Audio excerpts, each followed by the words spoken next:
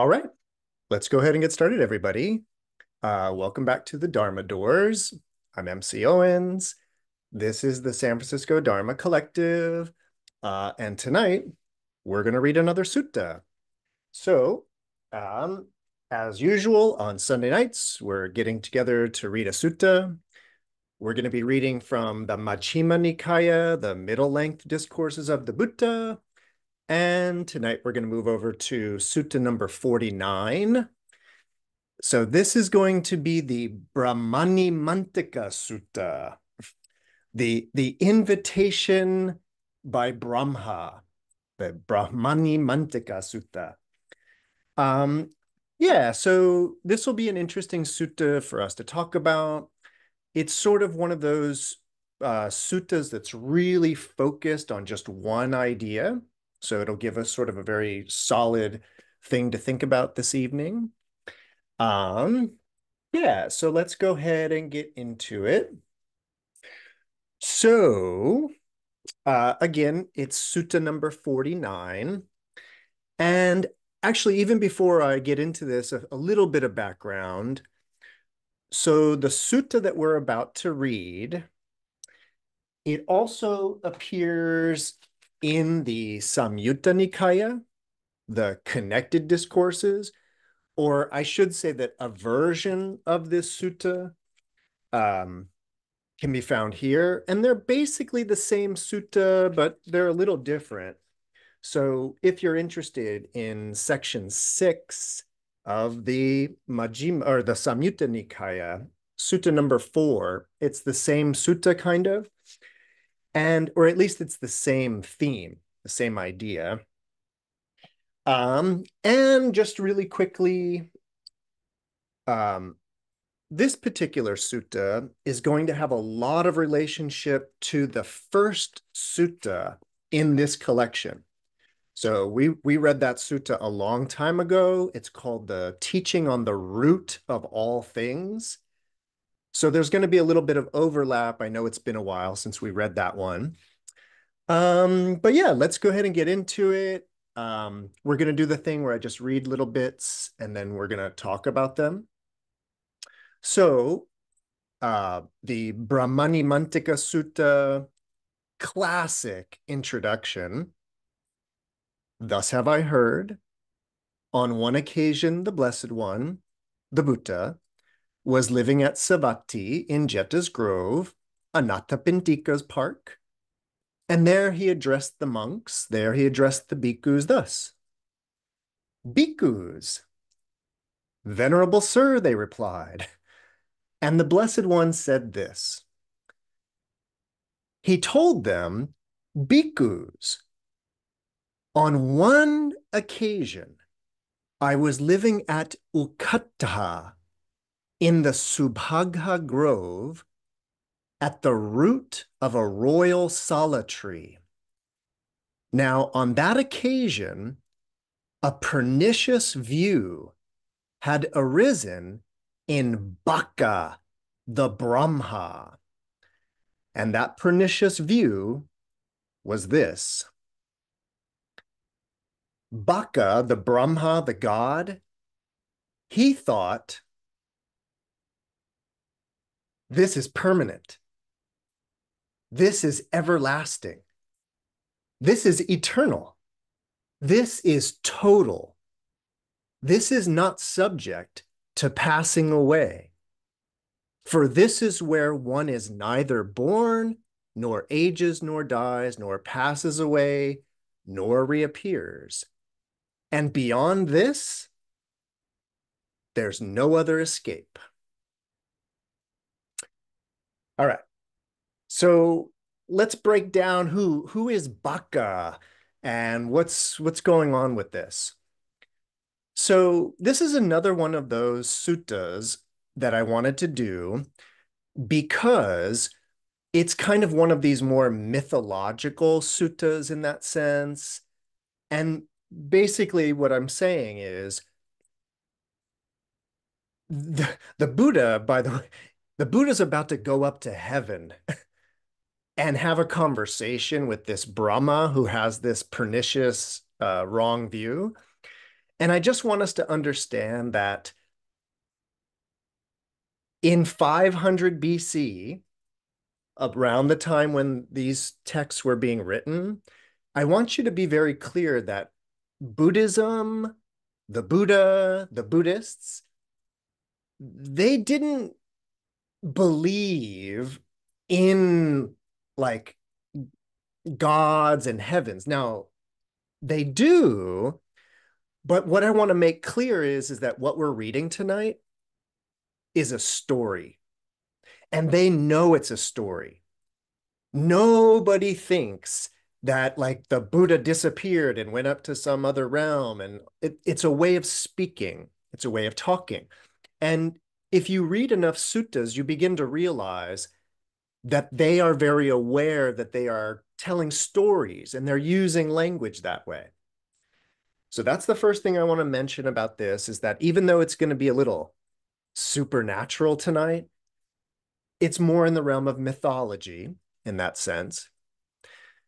Now let's talk about Baka. So, or actually, the, the one thing I did want to mention is that, so this sutta that we're reading takes place in Savatthi. But in Savatthi, the Buddha's telling everybody about this one time when I was in Uktat, Ukataha in the Subhaga Grove, staying under this royal tree. And what I want you to know is, is that the very first sutta in this collection is also at this place Ukataha under the royal sala tree in the Subhaga Grove. And these are the only two suttas, the one we're reading and number one. These are the only suttas that actually take place at this location. So I just want you to know that this is sort of a, a rare occasion where the Buddha was staying in this one place.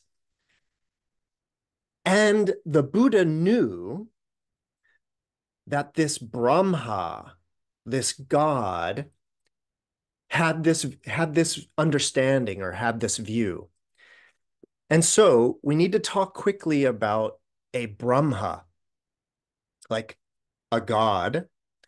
And what I want to remind you of is that, you know, this topic gets raised a lot in the in conversations about Buddhism. And it's this idea of like, is Buddhism atheistic?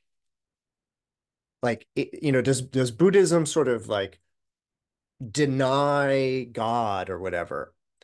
And it's tricky actually because on the one hand there are gods in buddhism. But as we're going to see tonight it's the whole point of this sutta.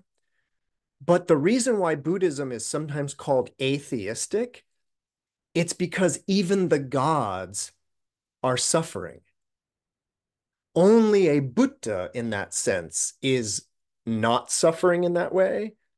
And so, as we're going to hear, that puts a Buddha as sort of higher than a God. So that's why people often say that Buddhism is atheistic because we're not revering, bowing down to, or praying to a deity or a God. So but who is this Baka, this Brahma? Well, within the world of Buddhism, coming, you know, out of that Indian milieu, there, of course, is a bunch of different gods, not just one god. And what I want to remind you of is that within the world of Buddhism, there's these, it's a way of looking at reality. It's a way of looking at what's going on here. And in the world of Buddhism, as I know all of you know, but just, just in case, in Buddhism, this world can actually be understood as three kind of layers or three dimensions. These are called dhatus, realms. And I want to remind you quickly about the three realms. And the basic idea in Buddhism is that what you see before you most of the time is the realm of desire, the kama dhatu. And we want to understand that the realm of desire is the realm of kind of projection, to use a modern psychological phrase, because it's the idea of like projecting value, projecting meaning, projecting um, all kinds of things kind of onto the world.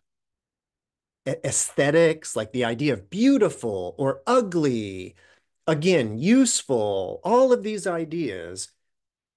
If you look closely, you realize that, well, you take something like beauty and ugliness, and what you realize is that beauty and ugliness are not out there. Beauty, as they say, is in the eye of the beholder. And the way that Buddhism talks about that is that there is one dimension of reality, which is your psychic overlay. That's the realm of desire. Now, in kind of old school original Buddhism, if you could peel back that layer of desire that you're projecting, if you could peel that back and stop projecting, you would then come to be, you would then come to abide in just the realm of form, the rupa dhatu. Now, the idea of the realm of form is that this is just the realm of materiality. It's just the realm of objects, kind of size, shape, number, really, really basic building blocks of reality.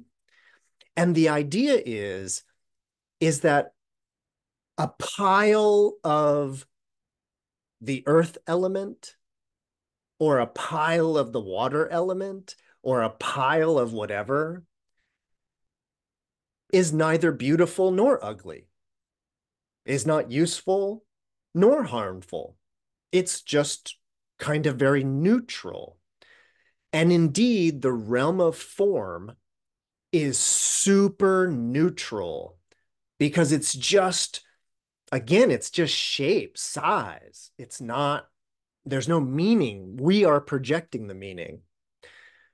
So that's the realm of form that's kind of underneath the realm of desire. And of course, there's an even deeper realm going on here, which is the formless realm. We're not going to get too into the formless realm tonight. So I'm just going to kind of leave that out there as like the realm of deep meditation. Let's just leave it there as like the all form. So we don't even have size or shape anymore.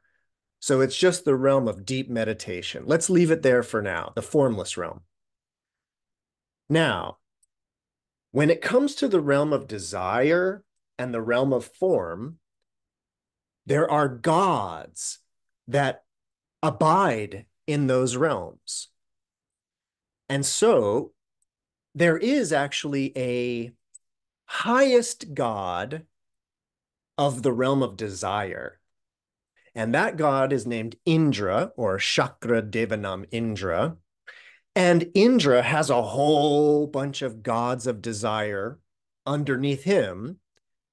And in that way, Indra is the god of, well, a lot of times Indra is the god of sexuality, the god of the emotions, the god of, you know, things relating to desire, because he's the king or the god of the realm of desire.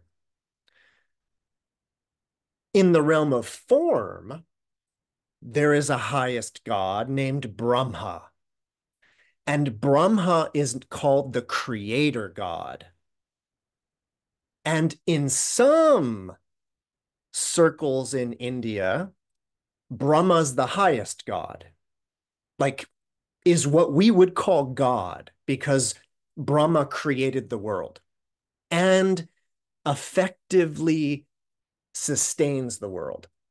And so Brahma would be very close to our idea of God in, in a sort of Western Judeo Christian Islamic sense. Now, Brahma the god has like helper, helper gods, lesser gods. And our our um our character here, Baka, is one of those lesser Brahma gods in the realm of form. Now, what we're going to find out is, is of course, that is Baka. Baka is uh, not too sharp in that way. but the idea here is, and so what I'm trying to do now is just try to explain this idea, which is that Baka the Brahma has this pernicious view. And his pernicious wrong view is that he is in the realm of form, because that's his domain, that's his realm. He's not in the realm of desire, because he's a god of the realm of form. And so we are to understand that Baka is beholding the realm of form, his domain, and he is saying, Ah, this is permanent. This is everlasting. This is eternal, total, not subject to passing away. For this is where one is neither born, nor ages, nor dies nor passes away and is reborn. And then he the may the real problem that he has is that Baka also says, and from this there is no escape. Now, because it's not going to go much further into this, I I want to kind of explain something. So uh, Bhikkhu Bodhi and Bhikkhu Nyanamoli, the two translators, as usual, they have great footnotes to this sutta. And one of their footnotes is about how we could and perhaps should be thinking about this Baka, the Brahma, not as like a god exactly, but we should be thinking about it that that being as representing a mind that has achieved the state of being in the realm of pure form. And that that mind that reaches that state may develop the idea that this is it. This is permanent. This is eternal. This is total and so to put it another way what we want to kind of notice or what we want to be thinking about is how no matter whether we're talking about religion, philosophy, science, uh, the law, I mean, like, you know, like legality and stuff. No matter what we're talking about in those realms, again, religion, science, philosophy, jurisprudence, right? all of those are disciplines, if you will, that are searching for the bedrock solid bottom upon which all the rest of reality can rest.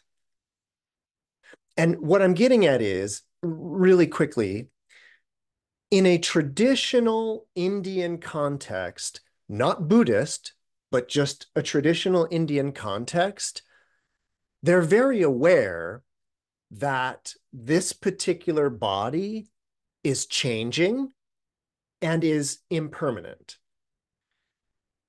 They're very aware that the physical world, in a way, is always changing and is, in a sense, impermanent. And so, what there is, is in, in general, there's a search for what is permanent. Like, what can I rest on that is solid, eternal, and permanent? And of course, in the traditional kind of Indian religious context, the idea that you have of your like your name and even the way you look now, all of this is temporary. But in a traditional Indian context, at the core, there is what is called the Atman, or in Pali, the Atta. And this Atman, which is sometimes translated as a soul or the true self, the Atman is considered that which is the eternal, permanent, unchanging aspect of the self that is basically the divine aspect. And so, what we're dealing with here is the mentality, whether it's Baka the Brahma or a meditator or whoever, we're dealing with the mentality that thinks it has reached the truth the bedrock, the bedrock solid thing. And then the idea is, I made it. I have reached the eternal in that way.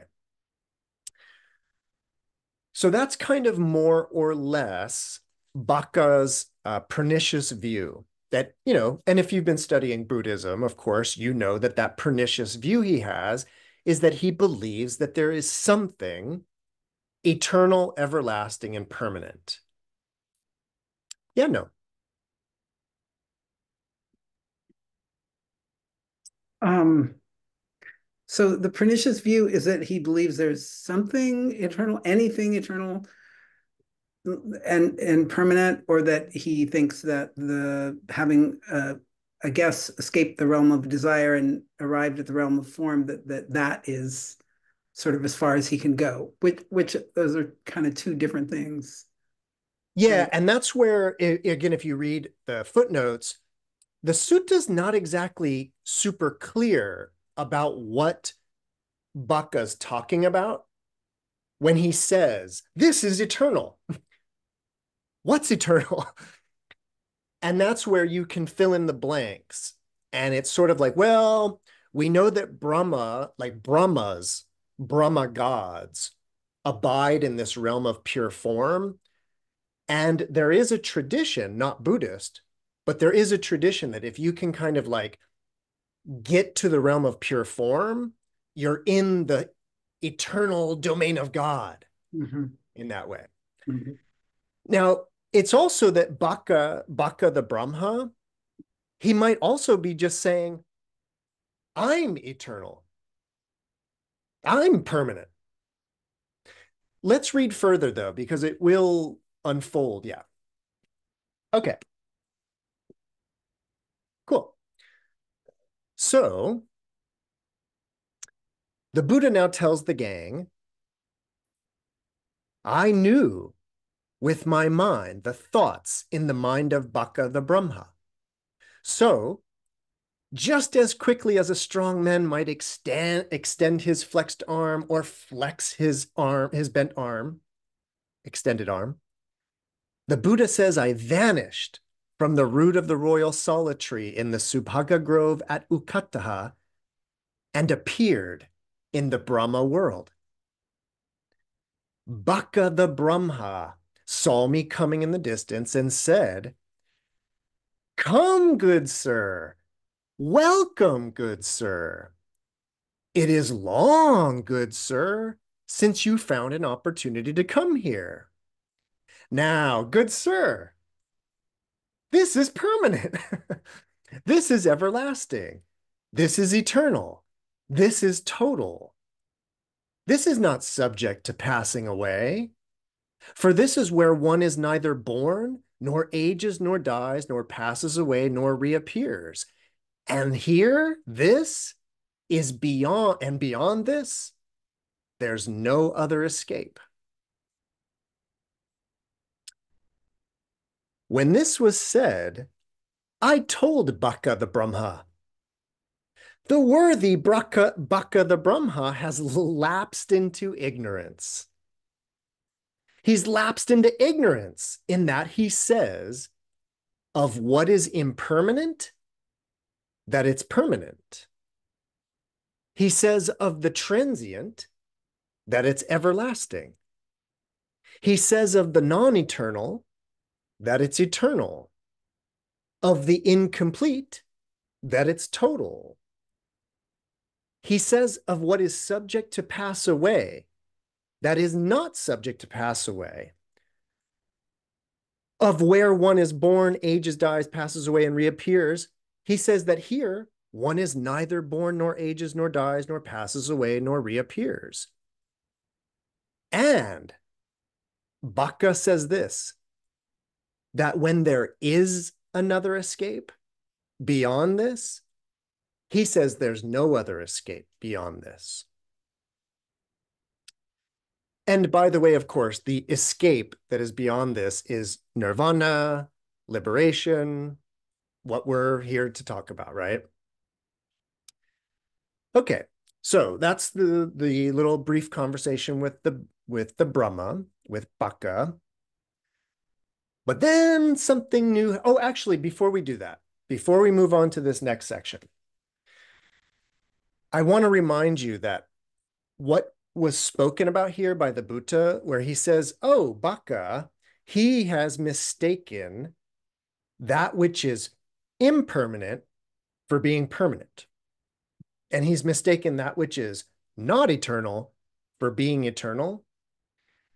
I want to remind you that that idea of mistaking what is impermanent to be permanent, for example, that's what's called viparaya in the in Sanskrit, vipallasa in Pali. And it is almost always translated as inverted thinking.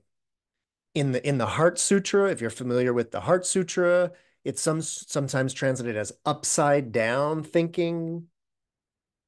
But the basic idea is, is that it's totally mistaken, deluded thinking and in this sutta, it's about mistaking that which is actually impermanent, but like Baka, somebody thinks it's permanent.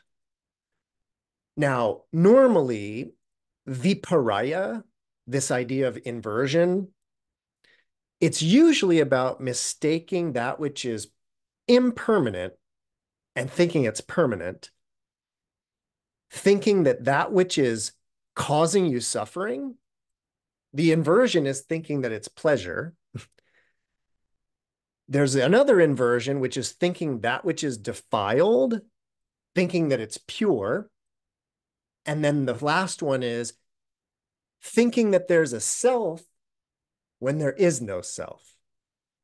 So those are the classic traditional four inverted views. Here we are only dealing with the first one, the idea of permanence versus anicca, impermanence. Okay, so that's Baka's problem, the Buddha says. But now we have a new character, Mara, the evil one. so now in this story, it says that then Mara, the evil one, took possession of a member of Brahma's assembly.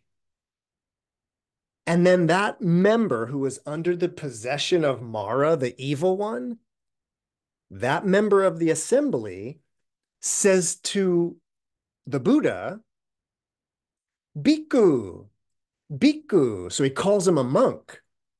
Bhikkhu, Bhikkhu. Do not disparage Baka the Brahma. Do not disparage him. For this Brahma is the great Brahma the Brahma, the overlord, the untranscended, the one of infallible vision, wielder of mastery, Lord, maker and creator, most high, master and father of those that are that the, of those that are and will ever be. Now, this person possessed by Mara goes on to say, way before your time, Bhikkhu, there were recluses and Brahmins, you know, meditators in the world who condemned the earth element and were disgusted with earth, who condemned water and were disgusted with the water element, who condemned fire and were disgusted with fire, who condemned air and were disgusted with air, who condemned beings and were disgusted with beings, who condemned gods and were disgusted with gods, who, con- who condemned Pajapati and were disgusted with Pajapati, who condemned Brahma and were disgusted with Brahma. And these meditators that did all of that, on the dissolution of the body when their life was cut off, they became established or reborn in an inferior body. Before your time, Bhikkhu, there were also recluses and Brahmins in the world who lauded and delighted in the earth element, who lauded water and delighted in water, who lauded fire and delighted in fire, who lauded air and delighted in air, who lauded beings and delighted in beings, who lauded gods and delighted in gods, who lauded Pajapati and delighted in Pajapati, who lauded Brahma and delighted in Brahma. And on the dissolution of the body, when their life was cut off, they became established in superior bodies. So, Bhikkhu, I tell you this be sure, good sir, to do only as Brahma says. Never overstep the words of Brahma. If you overstep the word of Brahma, Bhikkhu, then like a man using a stick to chase away the goddess of luck when she approaches, or like a man missing the earth with his hands and feet as he slips into a deep chasm. So it so too will it befall you. Bhikkhu, be sure, good sir, to do only as Brahma says. Never overstep the words of Brahma. Do you not see the Brahma's assembly seated here, Bhikkhu? And Mara the evil one thus called thus called to witness the Brahma assembly. Now, before we kind of get to the Buddha's reply, so really quickly, Mara, right? Let's remember, you know, that Mara, that actual word, means death and so, in that way, this being, Mara, that we are always hearing about, also called Papian, the evil one, I want us to understand that in the world of Buddhism, Mara is a, a personification, or in many instances, a zoomorphication of the idea of death. Like the specter of dying, the specter of death that kind of looms over all of us in a way, goading us into various actions, goading us into various worries. yeah, that's Mara, the evil one. And Mara has possessed somebody in the audience and has basically told the Buddha, but calling him just a regular monk, and has basically used this very interesting language language like the Most High, language of the Master and Father of all beings, uh, Overlord, uh, the Maker and Creator. All of these titles of Brahma would be very, very natural in the Quran or in the Bible or in the, you know, the Old Testament in that way. These are terms that are always used to talk about God and what I want you to kind of recognize is that what Mara is saying is he's saying to the Buddha, he's saying, You're talking to God, buddy. You better bow down and just do as he says. Before we go any further with this sutta, I really would like to pause at exactly how radical this is it's so radical that Buddhism is sort of, it's not making fun of theistic religion in that way. It's not making fun of it, but is definitely kind of putting it down in that sense. But let's get to why in that way. Yeah, no, please. Sorry, I appear to have a lot to say today. yeah, no, great. Um, it seems like Mara is trying to scare the Buddha. Like, oh, you know, you you better or scare us. mm-hmm. You know, you better listen to to Brahma because otherwise you're going to be toast. Like if you listen to Brahma, if you do what Brahma says, all these good things will happen to you. You know, then you don't have to fear death in a way. Hmm. Now, Noam, what's what's really kind of going on, and it's going to kind of come out in the sutta, but I'll tell you now because it it's related to what your your your comment. What it is is that because Baka, the the Brahma, because he has this pernicious inverted view about permanence, he's under the control of Mara.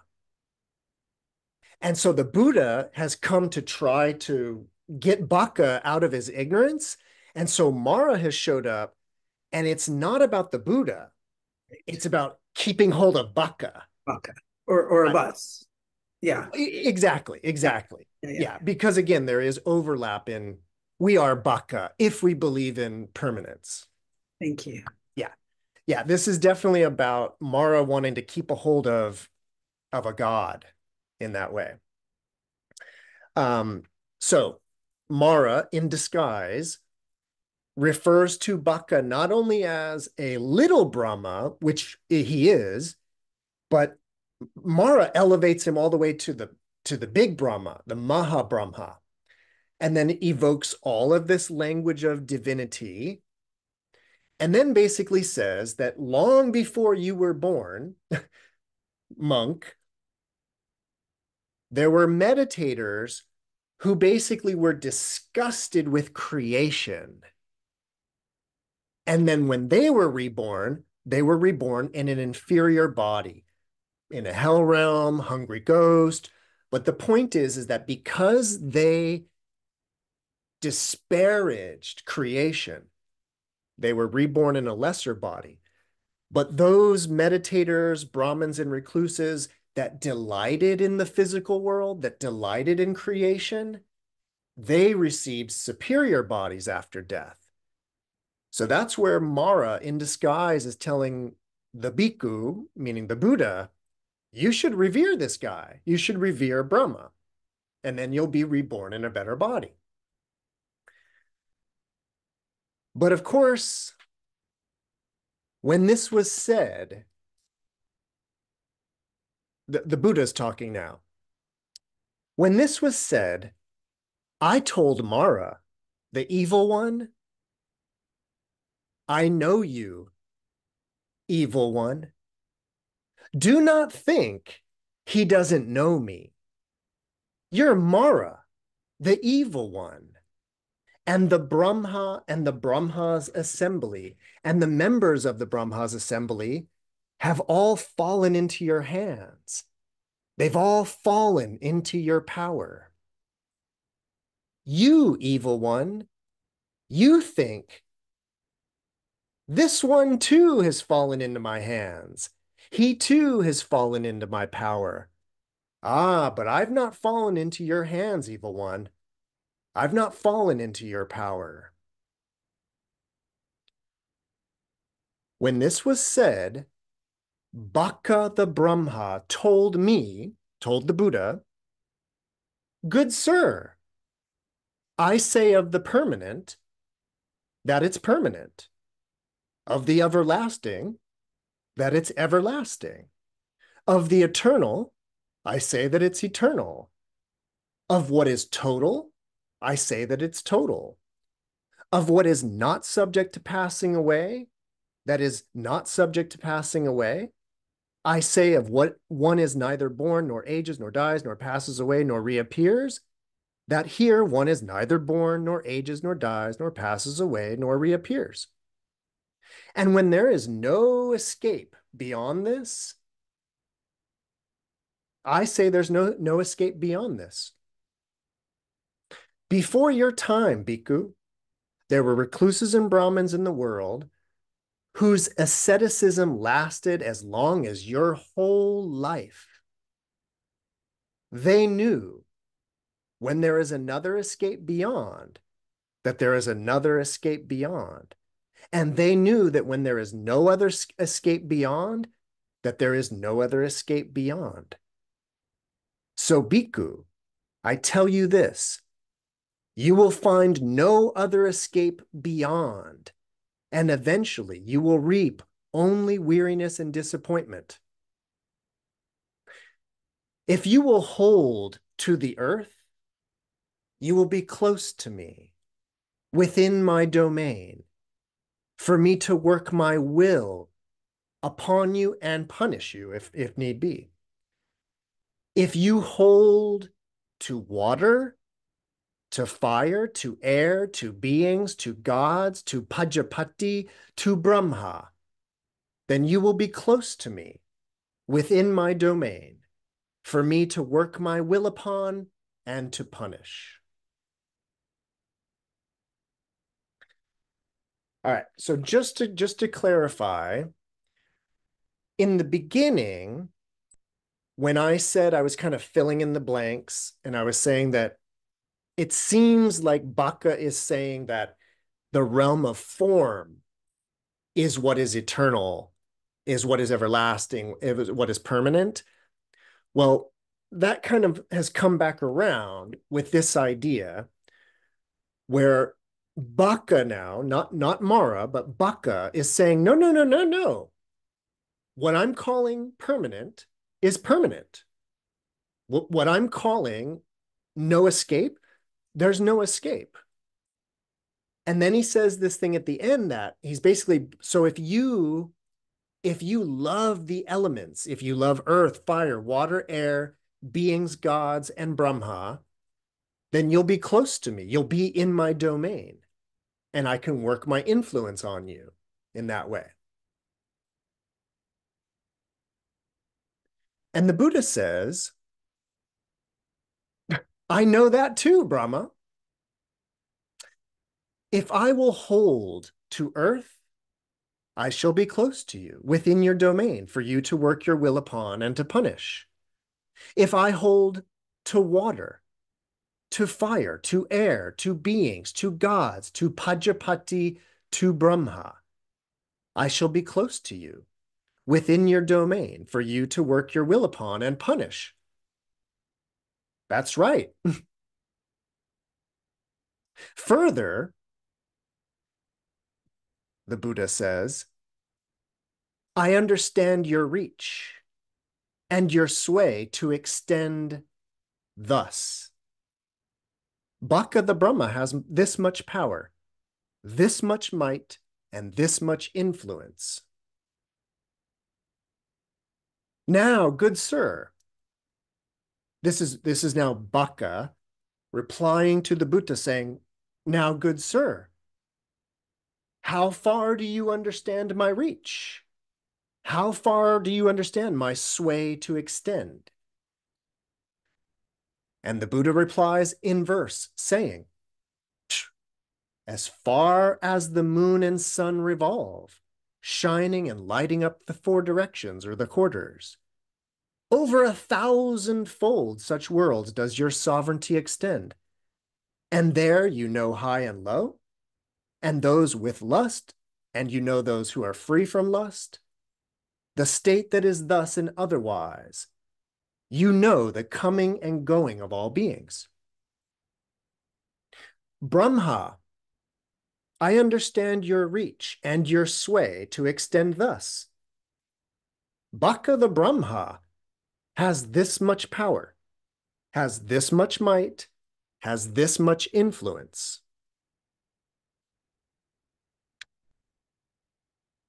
But Brahma, there are these three bodies which you neither know of nor see but I do know of and I do see. There is the body called the gods of streaming radiance, from which you have passed away and reappeared here as Baka. because you have dwelt here for so long, your memory of that has lapsed. And hence you do not know it and you do not see it. But I know it, I see it. Thus, Brahma, in regard to direct knowledge, I do not stand merely at the same level as you. How then could I know less? Rather, I know more than you. Okay. so that's what I'm getting at in terms of this radical, radical theology. This is radical theology for a human that has achieved full potential to then go to God and say, I know things you don't even know.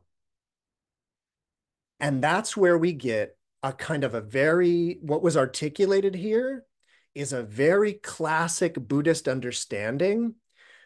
And what it is, is it's that the gods, their lives are so long that they forget that they had a life before that.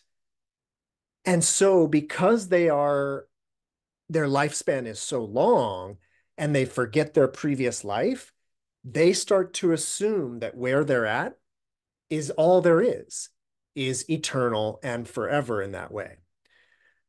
Now, the idea here is, is that in traditional Buddhist cosmology, there are these kind of higher realms that are even above the realm of Brahma, the realm of streaming radiance. Um, there's others as well. And so the idea here is again that is that this being that is Baka the Brahma used to be an even higher god but then fell down into being Baka the Brahma, had a lapse of memory, and started to presume that things were permanent.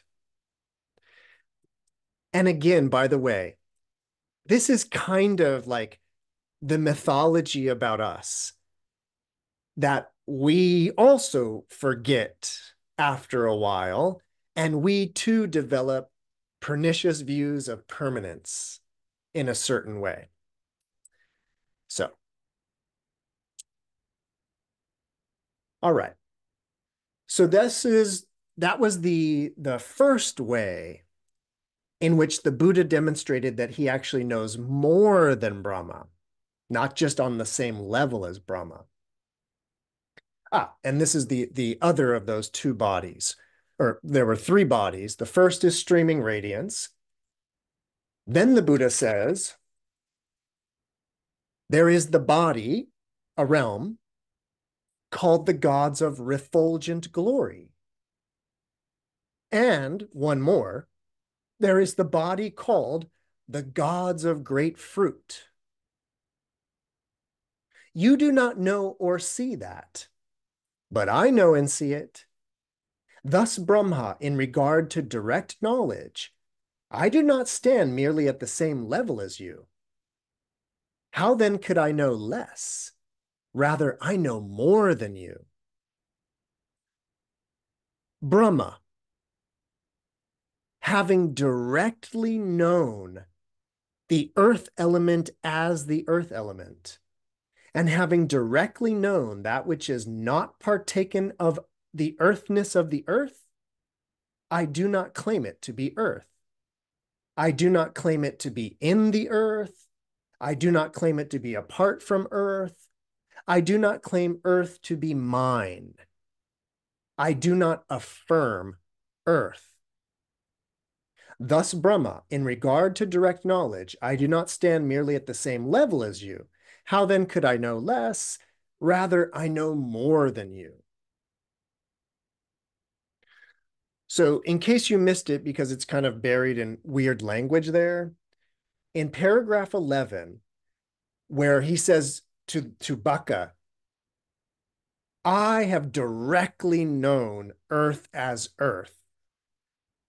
And having directly known it that way, he says, I don't claim of myself. This is the part that's kind of missing.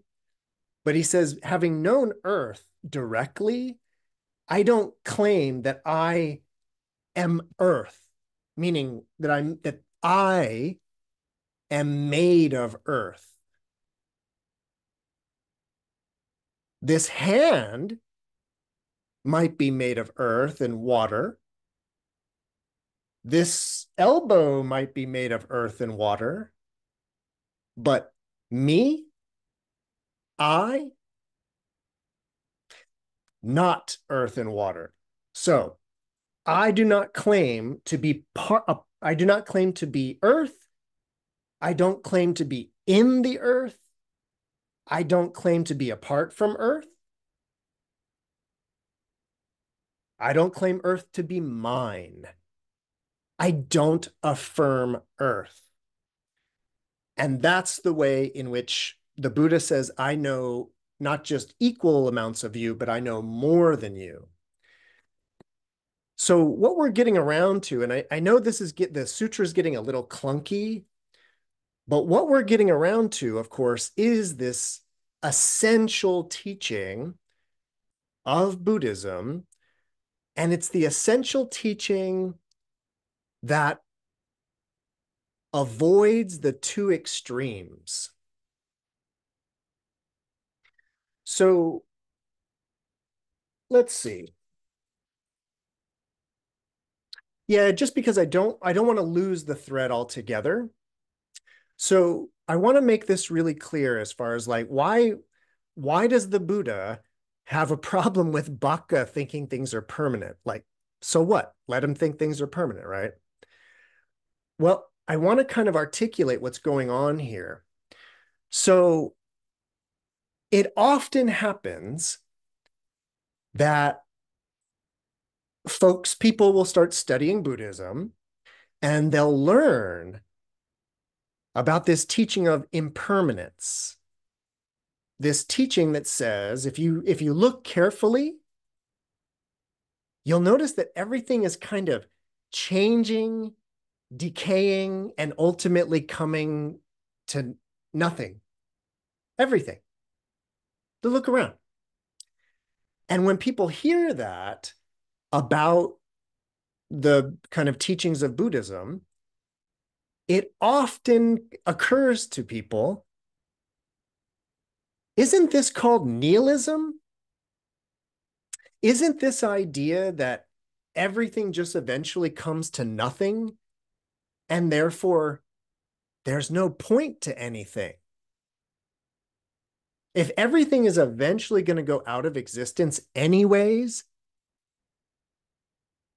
all we're doing is speeding that up or slowing it down.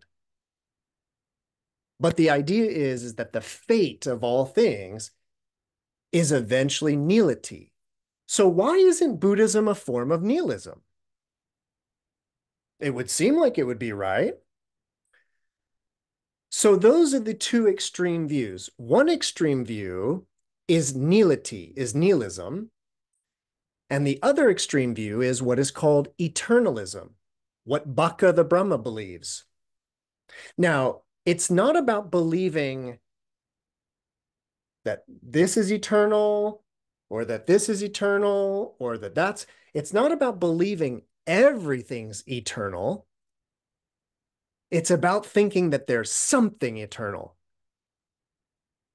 something unchanging, something solid, something like God in that way. So those are the two extreme views, nihilism or eternalism. And Baka the Brahma has fallen into the pernicious view of permanence, of eternalism. And the thing that I want to explain using this section where the Buddha is saying that I don't claim to be earth, I don't claim to be in the earth, what's being articulated there is actually how it is that Buddhism is neither nihilistic nor a form of eternalism. This is what is called the middle path. And the idea here is it's about you.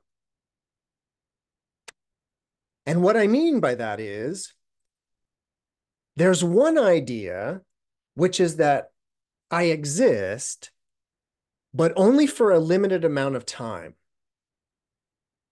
And then there's an idea that when I go out of existence, meaning when I die, that that's it. And that would be the nihilistic point of view. Now, there's another idea out there in the world, which is that this will go on for a while, but when I die, I will go up to heaven and be with God forever. Like my soul will be released and I'll go be with God forever. Or maybe I meditated a lot and my Atman will be freed and unite with Brahma forever. But what I'm getting at is, is that there's, it's about this idea of me and what happens to me when I die. Is it nihilism or is it eternalism?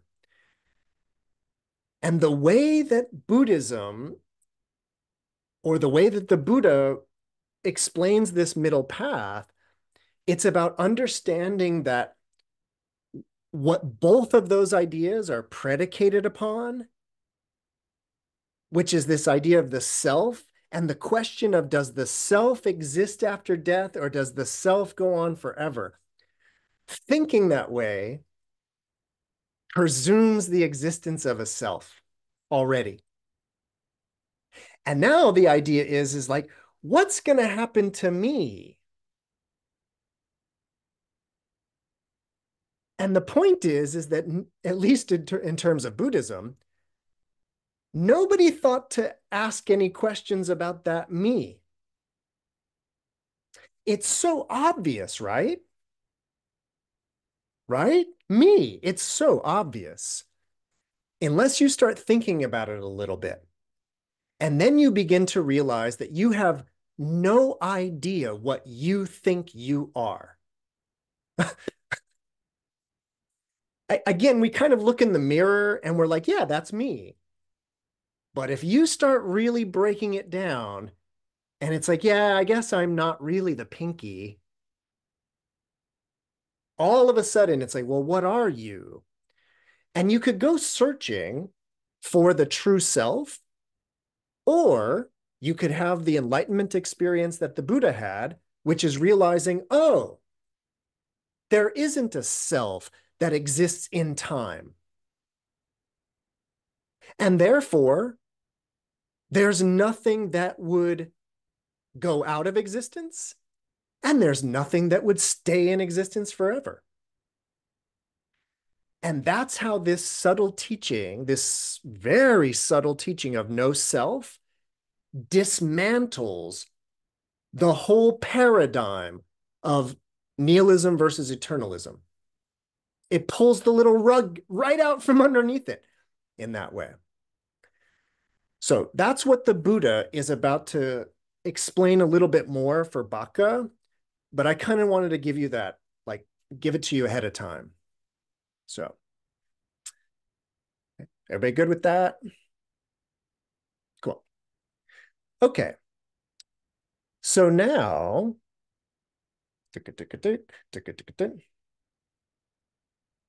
all right.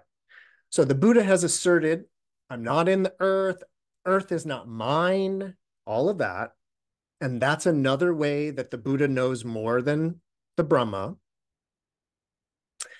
And then the Buddha says, Brahma, Baka, having directly known water is water, fire is fire, air as air, beings as beings, gods as gods, Pajapati as Pajapati, Brahma as Brahma, the gods of streaming radiance as the gods of streaming radiance, having known the gods of refulgent glory as the gods of refulgent glory, having known the gods of great fruit as the gods of great fruit, having known Maheshvara, the overlord, as Maheshvara, the overlord, having known all as all,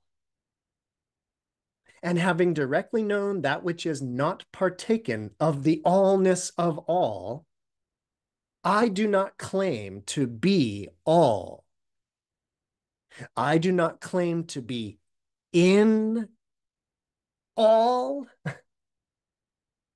I do not claim to be apart from all.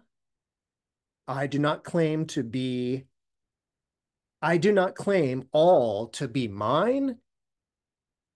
I do not affirm all.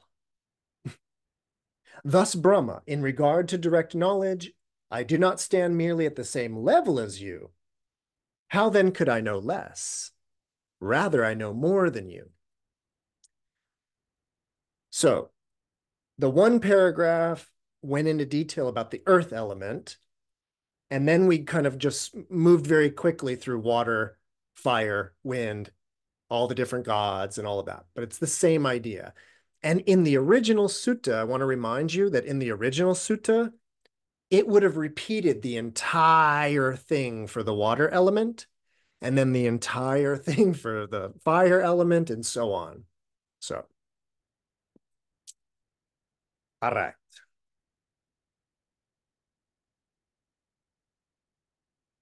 So, oh, by the way, the one thing where the Buddha said, I do not claim to be in earth I do not claim to be earth. I do not claim to be apart from earth. You might recall that that was one of them. And then in this one, when he got to the idea of the everything or the all, and he said, Yeah, I am not in the totality of all things, but I'm not apart from the totality of all things either. And I just want to make it clear that what he's saying there is that when I, meaning the Buddha, when I say that I'm not the earth element, I'm not saying that I'm like somewhere else. I'm not saying that I'm not the earth element. Does that make sense to everybody? Like that idea that, because basically there's no self. so it can't be apart from the because that would kind of turn it into something that exists by itself over there. So the Buddha is saying, yeah, I'm not this, but I'm not somewhere else either. Yeah, Lane. Oh, do I need to? That. Um, is this like the whole subject object thing where like when we if we presume a self we see it as sep like i'm here and that's there and this is a subject object relationship but actually it's not? Yep. is that what we're talking about? Yep. That is exactly very well said by the way lane wonderful. In terms of that recognition that in in terms of dependent origination in that way understanding that yes when there is when there's the idea of not me, there's immediately the me. Or when there's the idea of me, there's immediately the idea of not me. And then that creates this sort of, uh, uh, you know, it's like the two sides of the same coin idea in that way. And so, indeed, the Buddha's talking about not being other than any of that in that way. Like recognizing what the self actually is. It's what, by the way, it's what he means, or what I think he means by this language of having known earth as earth, having known beings as beings. Lane, in terms of what we just said, the idea is, is that the Buddha knows the self as the self meaning as the other side of the subject object relationship. Now, it doesn't mean that it exists, but we understand fully what it is. Cool. Cool. All right. So, having said all that, especially the part about the Buddha saying, I'm not in everything. I'm not everything, right? Baka says to the Buddha, Well, good sir, if that is not partaken of by the allness of all, may it not turn out to be vacuous and empty for you? A complicated little sentence, but basically what he's saying is, is that, hey, Buddha, if you're saying that you are not part of the all of everything, then aren't you just sort of talking? Meaning, like, isn't that then just a vacuous idea? Like the me that isn't a me or whatever. Like he's kind of pointing at the idea of like, that doesn't sound like anything. And then the Buddha recites a little tiny verse. Consciousness non manifesting, boundless, luminous all around. That is not partaken of by the earthness of earth. That is not partaken of by the wateriness of water. That is not partaken of by the allness of all. Now, if you read Bhikkhu Bodhi's footnote number 513 to that really cryptic little verse passage of consciousness non-manifesting, boundless, luminous all around. if you read his footnote, he basically says that this is one of the hardest verses in Buddhism to translate. I've come across this same verse other places.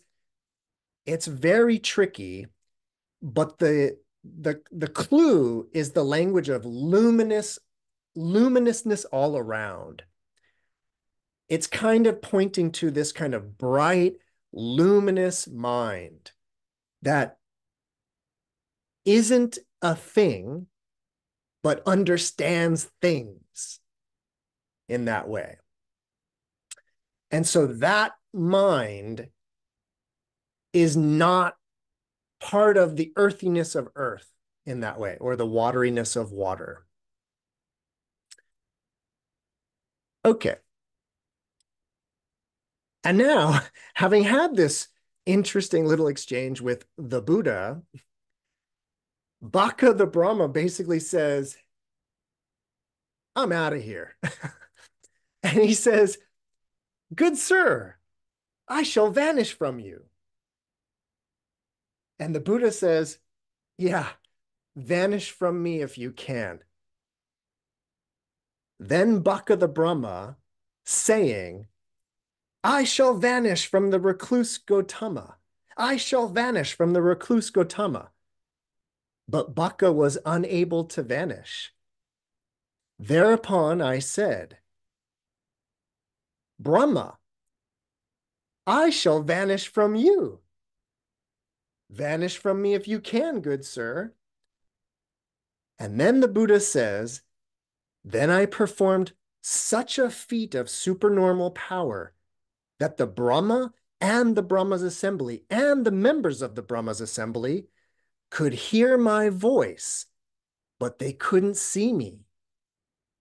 After I had vanished, I uttered this verse. Having seen fear in being, and having seen that being will cease to be, I do not welcome any kind of being nor do I cling to delight.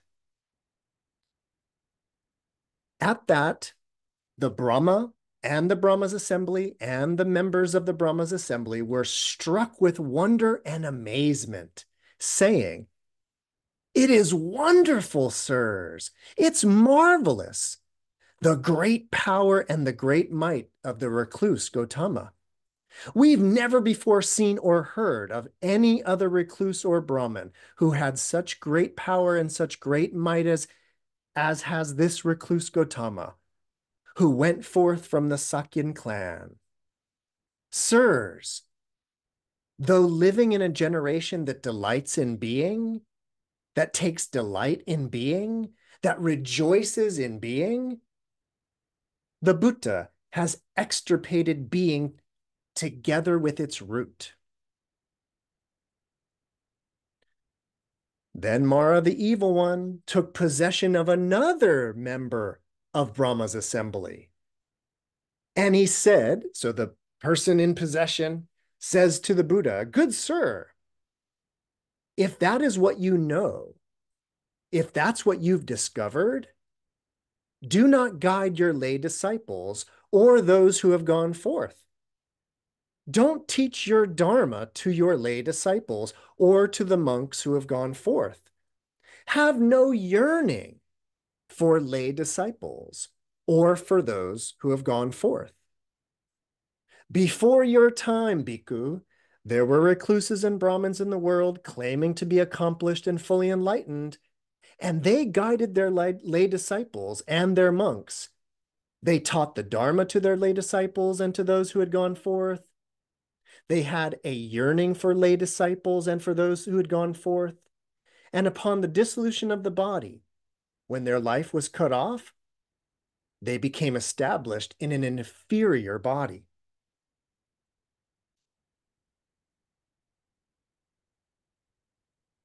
Before your time, Bhikkhu, there were also recluses and Brahmins in the world claiming to be accomplished and fully enlightened, but they did not guide their lay disciples. They did not guide those who had gone forth. They did not teach the Dharma to their lay disciples or those who had gone forth, and they had no yearning for lay disciples and those who had gone forth. And on the dissolution of the body, when their life was cut off, they became established in a superior body. So, Bhikkhu, I tell you this be sure, good sir, to abide inactive, devoted to a pleasant abiding here and now. This is better left undeclared. And so, good sir, don't advise anybody else. When this was said, I told Mara the evil one, I know you, evil one. Don't think that he doesn't know me. You're Mara, the evil one. It's not out of compassion for their, for their welfare that you speak this way. It's without compassion for their welfare that you speak this way. You think thus, evil one. Those to whom the recluse Gotama teaches the Dharma will escape from my sphere. Those recluses and Brahmins of yours, evil one, who claimed to be fully enlightened, they were not fully enlightened. But I, who claim to be fully enlightened, I'm fully enlightened. If the Tathagata teaches the Dharma to disciples, he is such, evil one. And if the Tathagata does not teach the Dharma to disciples, he is such. If the Tathagata got, guides disciples, he is such evil one. And if the Tathagata does not guide disciples, he is such. Why is that? Because the Tathagata has abandoned the taints that defile, that bring renewal of being, that give trouble, that ripen into suffering, and that lead to future birth, aging, and death. He's cut them off at the root, made them like a palm stump, done away with them so that they are no longer subject to future arising. Just as a palm tree whose crown is cut off is incapable of further growth, so too the Tathagata has abandoned the taints, that defilement, that defile them off at the root. He's made them like a tree, a palm stump, done away with them so that they are no longer subject to future arising.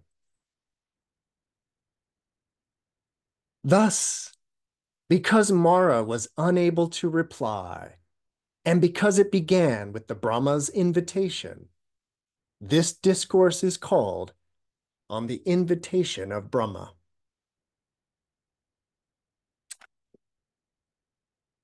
So that last part right there, where the where the Buddha is telling Mara or the possessed being this idea that the Tathagata has abandoned the taints that defile.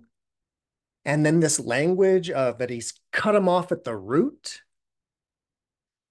Basically, as I understand it, that's what I was kind of getting at when I was talking about the teaching of no self. It it removes that which nihilism and eternalism are predicated upon.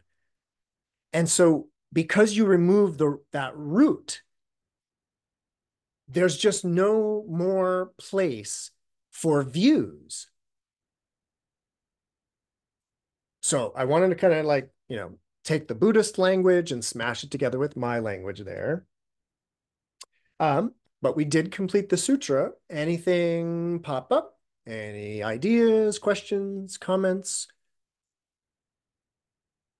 Yay. Noe?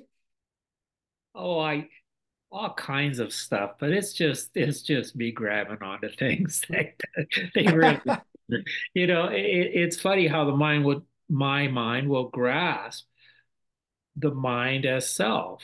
There, the mind is self, and so my mind is that. Well, what about this? Well, what about this?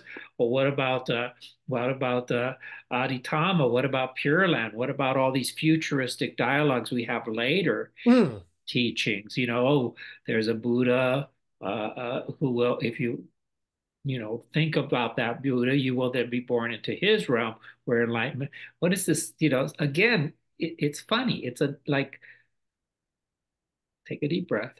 Uh, yeah, I'm just spinning around a little bit. Mm-hmm. And overwhelmed, uh, not overwhelmed, but just kind of like, okay. Be patient. There, more will be revealed. Because I want to know, but that's it. I want to know. Never mind, disregard.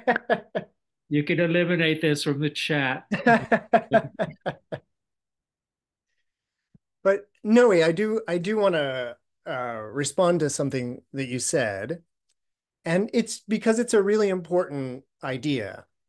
So I know that the way that this goes is, you know, I th- I throw out there, I I throw out there this question of, are you your hand, right? And we kind of realize that if we lost our hand through some unfortunate accident, we realize that we we would not disappear. Like and that reveals to us, oh, I'm not the hand. I assume that goes for the other hand, the arms, the legs, the torso. And so that kind of eliminates the physical body as being me. And then if you know you're very smart. So we immediately then say, oh, so it's this mind that is thinking about the hand that is not me the mind that is thinking that, that must be me, right? Now, the thing that I want to remind you of is that within the teachings of Buddhism, there is this teaching about the five aggregates, the five skandhas, and those are the physical body, number one, form, sensations, perception, our habits, or our conditioning. And the fifth one is consciousness. And the idea is that in the exact same way that there can be clinging to the body as self, there can be clinging to sensations as me, perception, like I'm perceiving this, or my habits, my conditioning, or my thinking, my mind. And what I kind of want to remind us all of, and I've we've we've talked about this many times, but I want to really like just really nail it down. We want to be aware of what I call, this is my language for a Buddhist idea, but we want to be aware of what I call singularizing. Meaning Look, we do it all the time. It's the idea of taking that which is obviously multiple, clearly, obviously multiple. There's the lead, the eraser, the plastic, but notice that the mind can just hold it as one object. It's not one object, but it can hold it as one object. Well, form, sensation, perception, conditioning, and consciousness. And the mind wants to hold those five distinct things as, and that's called me, self, I, and mine. So it's a habit of, it's a, uh, a conditioning, a samskara of mind to singularize. And it keeps doing it, even then to the creation of a self. And so it truly is a, a loosening of that grip on the singularity. So that was my best attempt, Noe, at, at awesome. Robin, great to see you. Thank, thank you. Mm-hmm. Um, when Baka was describing um, where he was, his pernicious view, it sounded so similar to how it can, to, Tathagata can be described, like, you know, unchanging, uncreated, um, you know, not so. So I'm just wondering about how uh, he, he's like he's sort of so close. Mm-hmm. Somehow he's, he, you know, of course it's because of the self, but I mean that those are descriptions of Tathagata. Yep, really good. Uh, good looking out there, Robin. In fact, I I didn't go down this little road, but it's it's I should have in a way. So part of that pernicious view of Baka, in addition to permanence, eternalism, and all of that, he has this one idea. Uh, dig it, dig it. It's about. Oh, sorry. Let me go back to the first articulation of it. That for for this, meaning the realm of form, the realm of Brahma, his his eternal realm, he says for this is where one is neither born, nor ages, nor dies, nor passes away, nor reappears. Yes, you you it's sort of like, yeah, doesn't that sound like Buddhahood? But you're totally right, Robin. It's not though, because it is the idea of me, the self, no more rebirth, no more, you know, it's the idea of like, I'm locked in and permanent. And that's why there's no rebirth and all of that. But in the Tathagata, in Buddha, there's no rebirth because the delusion of that which was going to be reborn is gone. So, but very good, Robin, to notice that there were like overlap in language, but not exactly though. So, cool. All right. Any other last questions, comments, answers, ideas? M Maria? Um, I would love for you to just say a couple words, especially in light of that last comment about consciousness non-manifesting. Ah, ah, uh, I'm glad. I'm glad you mentioned that too. So the Buddha's cryptic little verse consciousness non manifesting, boundless, luminousness all around. Excellent. So, I said it a moment ago there's form, sensation, perception, conditioning, and consciousness. And just like mind clings to body as self, it can cling to consciousness as self. But there's something really important about vijnana or vijnana, that the, what is being translated as consciousness. In Buddhism, that word, vi, vijnana, it it's always talking about subject object consciousness. And we know that that's problematic because of like the empty nature of things. We know that that's problematic for a variety of reasons, right? Meaning consciousness is problematic because it's delusional. And so we don't actually, within the world of like Buddhism in that way, we actually don't want to be relying on and using consciousness. In other words, consciousness, we want to be non manifesting. We do not want consciousness arising because consciousness would be about a me conscious of that versus the boundless, luminous mind that, for simplicity's sake, we can basically say is non dual. And therefore, there can't be consciousness. This is very Shurangama Sutra, too, Maria. I want to remind you of that. Little m mind, big M mind. The little m mind is about me thinking about that thing and that thing and that thing. The big M mind is the non dual mind that understands it is the totality of all things in that way. But like the Buddha said, but not thinking I am the totality of all things. Because that would then crimp. I like to use the language of crimping. It would like crimp off a little self where there's not a self, but that's what the self is, is a little crimp will crimp in the mind in that way. Yeah. Oh, good. Yeah, yeah, yeah. I gotta tell the last like 20 minutes of Dharma Doors is always the best, I have to say. yeah, Lane?